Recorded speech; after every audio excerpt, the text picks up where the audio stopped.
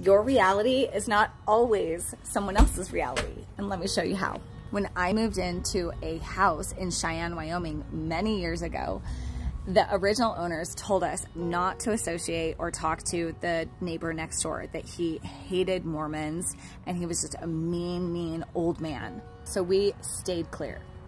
And almost every day, I would see him in the front yard picking up sticks and he would venture over into our yard to pick up sticks. So naturally I thought, wow, he just thinks I'm lazy. He's mad that my sticks from the trees haven't been picked up and he's begrudgingly picking up these sticks. Me and my little kids would be in the backyard and they would be loud and kind of obnoxious and he would be in the backyard and I only imagine him being so bugged that we were loud and annoying and I could kind of hear him like tinkering around feeling like he was telling us like, hey, you should quiet down. Many, many months went by with us living next to a mean old man until one day I was getting out of the car and right next to me he was picking up sticks. And I got my little girl out and she was standing right next to him. And I kind of was like what are we gonna do here? And she looked up at him and she put her arms up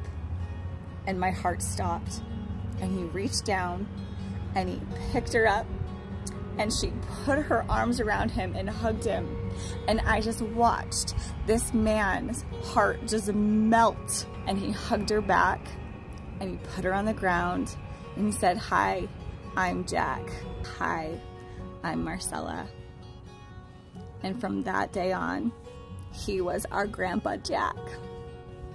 And I made him cookies and he'd joke around with us in the backyard and he invited us over to watch the Olympics on his big screen TV and he'd sit on the front porch and give me a hard time on the days that I didn't go to the gym. He'd help me unload groceries from the car and occupy the kids while I put the groceries away. He was our Grandpa Jack. He was never the old mean man next door. Maybe he was to the people before us, but it's worth asking yourself, who is this person for me? What is this situation for me?